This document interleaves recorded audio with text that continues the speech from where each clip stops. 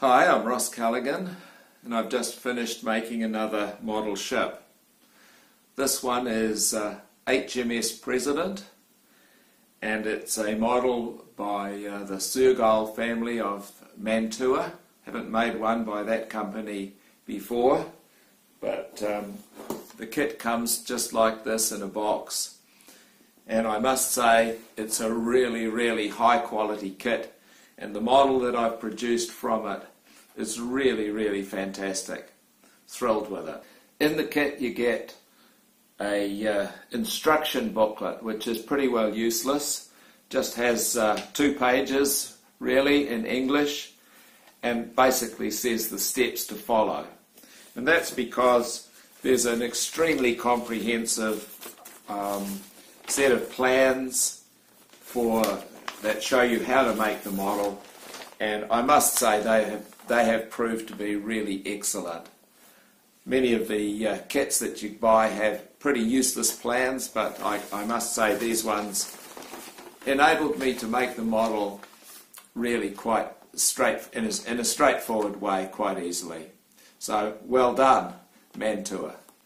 So now I thought I'd take you through the steps that were involved in making this model.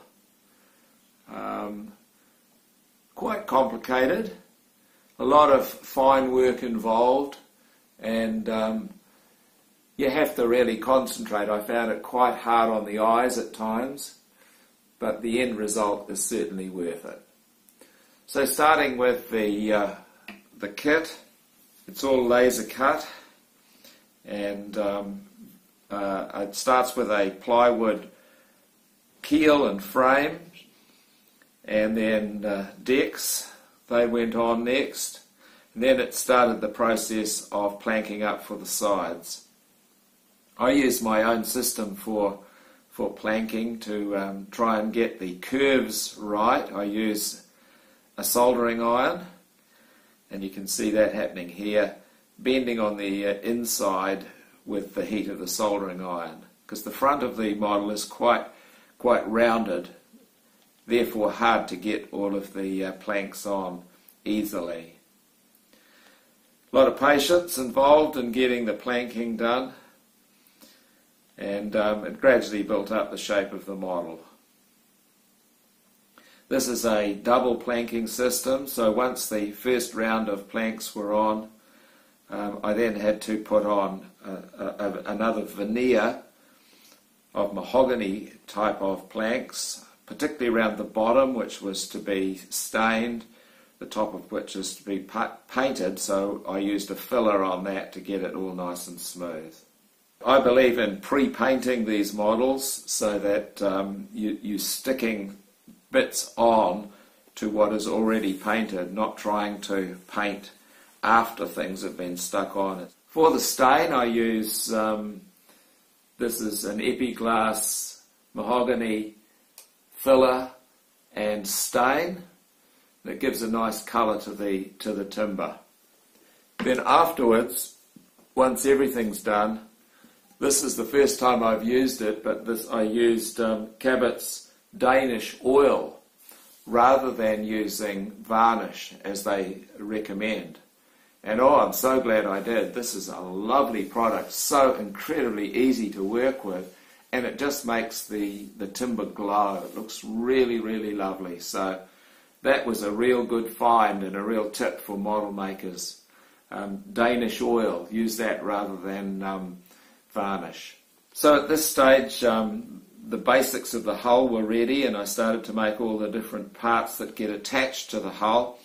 Uh, decorations, and on this particular model, they really are lovely. Lots of um, gold coloured uh, things there you can see. Looks really, really nice. So finally the hull was, was complete and I had to start then to build the masts and the uh, rigging. I, uh, I like doing rigging. It's, it's very satisfying when it all comes together. Now made quite a bit of progress with the fixed or standing rigging. So the uh, rigging for the bowsprit and for the foremast is now in place. To hold uh, each in place, there are lines that come upwards and downwards, left and right, and they're all pulling against each other so that the uh, particular spar is held in place.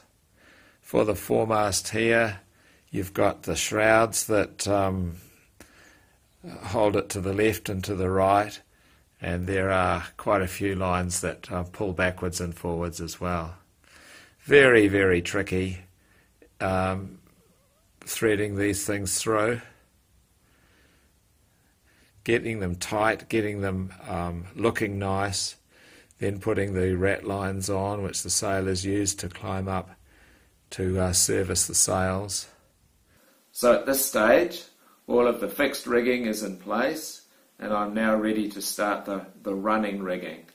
So I created all the spars for the sails. This particular model, um, the kit is like many Mantua ones, doesn't have any sails, but I decided, well, I'm going to put some sails on. So um, I made all the spars and then I uh, created a, a, correctly sized sail and attached it to it, but did it furled.